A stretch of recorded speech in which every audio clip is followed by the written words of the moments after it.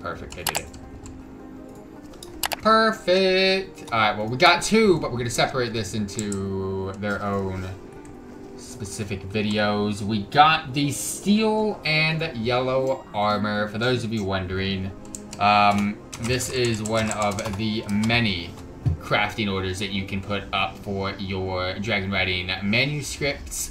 Um, steel and yellow armor. Go ahead and provide these reagents. Just put up a public order. Probably the easiest way to get this done. And yeah, you'll get yourself the steel and yellow armor uh, manuscript for the Cliffside Wylderdrake.